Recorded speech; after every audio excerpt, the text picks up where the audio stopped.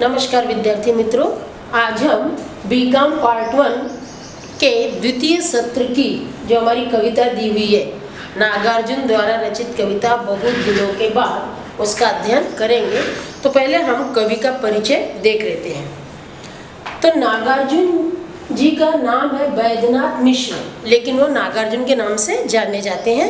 इनका जन्म दरभंगा, बिहार में हुआ है और राजनीतिक सक्रियता की वजह से इन्हें कई बार जेल भी जाना पड़ा है। राजनीतिक संघर्ष, स्वार्थ, भ्रष्टाचार और समाज की गतिशीलता के प्रति इनका साहित्य विशेष रूप से सजग रहा है। आपके साहित्यिक सर्जन में शोषण का विरोध जनतंत्र में विश्वास व्यक्त हुआ है। लोक जीवन के साथ आपका गहरा सरोकार है। आप सही मायनों में कवि हैं। इनकी रचनाएँ हैं। इनकी प्रमुख रचनाएँ हमने देखी। सतरंगे पंखों वाली, युगधारा, प्यासी पथराई आँखें। तुमने कहा था, ऐसी इनकी और भी रचनाएँ हैं। तो जो हम कविता का अध्ययन कर रहे हैं बहुत दिनों के बाद उस कविता में कवि ने बहुत दिनों के बाद अपने गाँव की सुषमा को देखा है, सौंदर्य को देखा है। कवि ने अपनी जो पंचेंद्रियाँ हैं, उसमें प्रकृति का रूप, रस, गंध, स्पर्श, स्वाद आदि का आस्वाद लिया है। जिसमें उनके मन की तृप्ति और आनंद प्राप्ति की झलक हमें दिखाई देती है। कविता में कवि का अपना गाँव और वहाँ की प्रकृति के प्रति उसका निश्चल स्नेह बरस रहा है। तो इस कविता में कवि ने अपने गाँव में जो प्राकृतिक रूप से, नैसर्गिक रूप से जो जीवन है, उस जीवन को जिया है, उसका ही यहाँ पर कवि ने बहुत सुंदर शब्दों में उल्लेख किया है, जो कि अभी हम देखेंगे। बहुत दिनों के बाद। अब की मैंने जी भर देखी जी भर का मतलब है यहाँ पर तृप्त हो जाना तृप्त होकर देखना चूँकि इस कविता में जी भर शब्द का बार बार असल में जी भर एक मुहावरा है जी भर शब्द का इन्होंने बार बार उपयोग किया है। बहुत दिनों के बाद, अब की मैंने जी भर देखी, पकी सुनहली फ़सलों की मुस्कान बहुत दिनों के बाद। बहुत दिनों के बाद अब की मैं जी भर सुन पाया धान कूटती किशोरियों की कोकिल कंठी तान।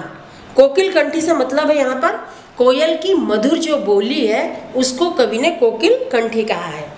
बहुत दिनों के बाद अब की मैंने जी भर सूंघे मौल सिरी के ढेर ढेर से ताजे टटके फूल। ताजे और टटके। टटके का भी मतलब ताजे होता है। मौल सिरी, यानी जो बकुल के फूल होते हैं ना, उसकी सुगंध बहुत अच्छी आती है। बहुत दिनों के बाद, अब की मैं जी भर छू पाया अपनी गवई पगडंडी की चंदन वर्णी धूल। अब गवई पगडंडी गमई ग्रामीण गाँव पगडंडी, आपने देखा होगा कि जब हम गाँव में चलते हैं, घास पर चलते हैं तो वो चलते चलते ही एक प्रकार की रास्ता बन जाती है, उसे उन्होंने पगडंडी कहा है। चंदन वर्णी अर्थात चंदन की तरह धूल। बहुत दिनों के बाद अब की मैंने जी भर ताल मखाना खाया। ताल मखाना, जो मखाना होता है या सिंघाड़े, उसको कहा है उन्होंने। गन्ने जी भर चूसे। बहुत दिनों के बाद, बहुत दिनों के बाद अब की मैंने जी भर भोगे भोगे, उपभोग लेना, आनंद लेना, गंध, रूप, रस, शब्द, स्पर्श, सब साथ साथ इस भू पर बहुत दिनों के बाद, भू पर अर्थात इस ज़मीन पर, इस पृथ्वी पर। तब कवि क्या कह रहे हैं कि कवि को अपने गाँव की मिट्टी से बहुत लगाव है। वो अपने गाँव की मिट्टी से अत्यधिक प्रेम करते हैं। अर्थात यहाँ पर कवि आप कहीं अपने गाँव को छोड़ के कहीं महानगर में गए हैं, जहाँ पर कि ये सारी चीज़ों का अभाव है, उन्होंने कभी देखा ही नहीं है। गाँव में हम देखते हैं महानगरों में पक्के डामरीकरण हो गया है सीमेंटीकरण हो गया, इसलिए कहीं गाँव में धूल दिखाई नहीं देती है, गाँव में कहीं मिट्टी दिखाई नहीं देती है। तो कवि जब तक वहाँ पर था तब तक तो उन्हें कुछ नहीं लगा, लेकिन अब जब कवि अपने गाँव को छोड़कर शहर की ओर गया है, महानगर की ओर गया तो तब वो इन सारी चीज़ों की कमी को महसूस कर रहा है।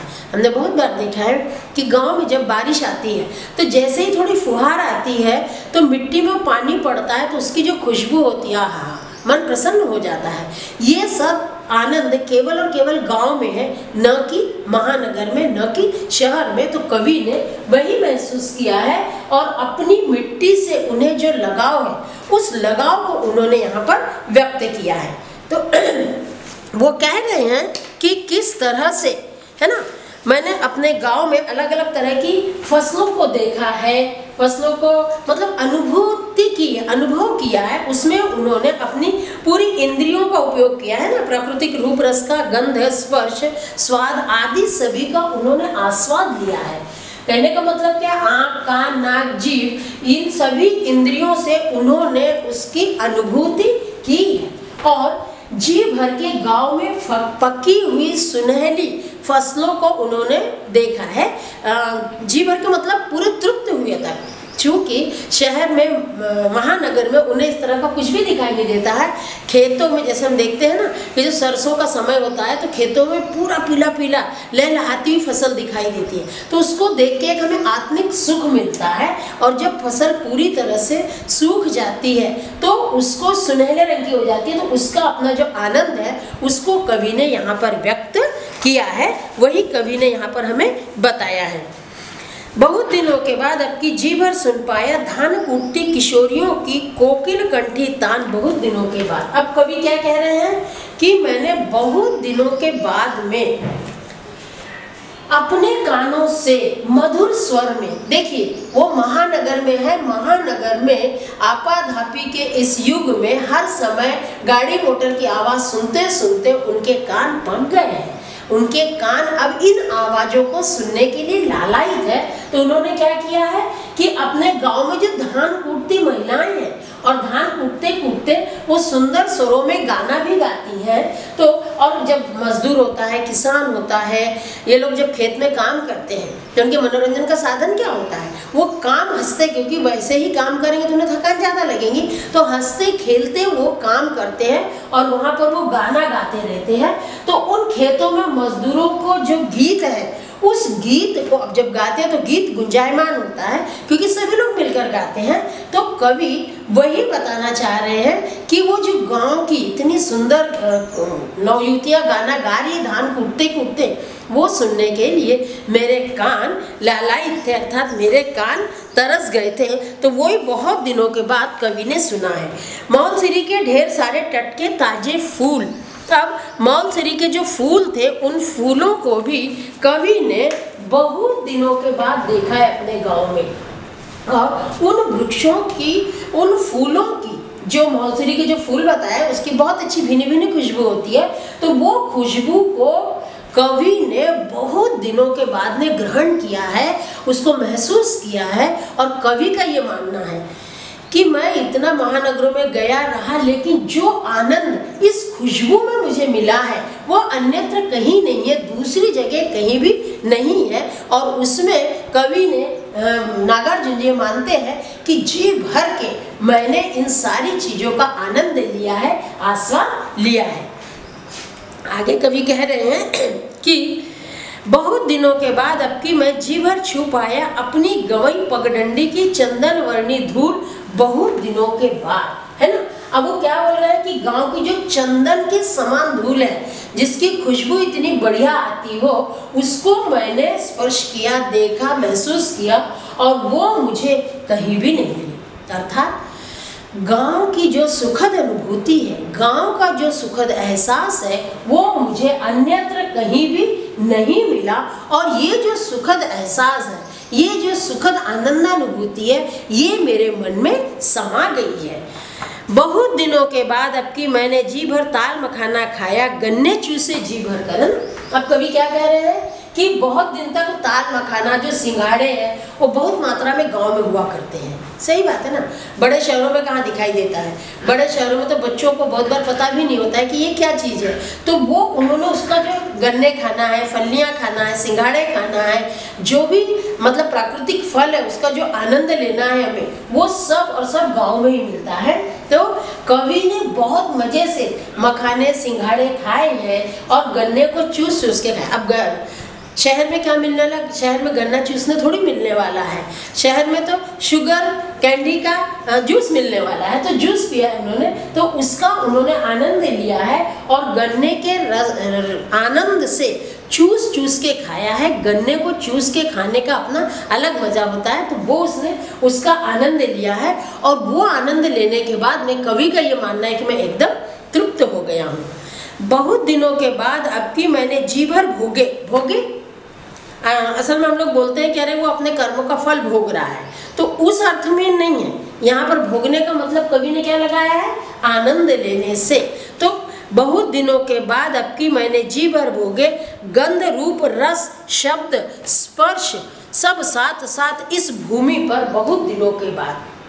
अब कवि क्या बोल रहा है? कि मैंने गाँव लौटकर बहुत दिनों के बाद जी भर के अपना जीवन जिया है उसे भोगा है। उसे मैंने अपने रस, रूप, गंध, शब्द, स्पर्श आदि सभी से मैंने इसका भरपूर स्वाद लिया है, भरपूर आनंद लिया है।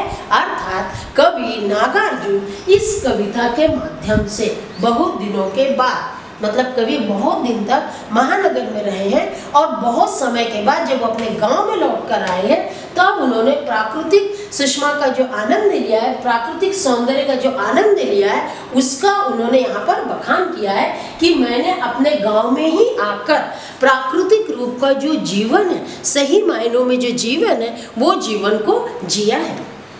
और वो जीवन जीने के बाद में मैं जितने भी दिन महानगर में था, मुझे ये सारी चीज़ों की कमतरता, कमी खल रही थी। और अब मैं जब यहाँ पर आया हूँ अपने गाँव में आने के बाद में मैंने इन सारी चीज़ों का सुनहरी फ़सलों का आनंद लिया है। मैंने वो जो कुंवारी है, धान कूटते हुए गान, गाना गा रही है, उसका कोयल सी आवाज़ है।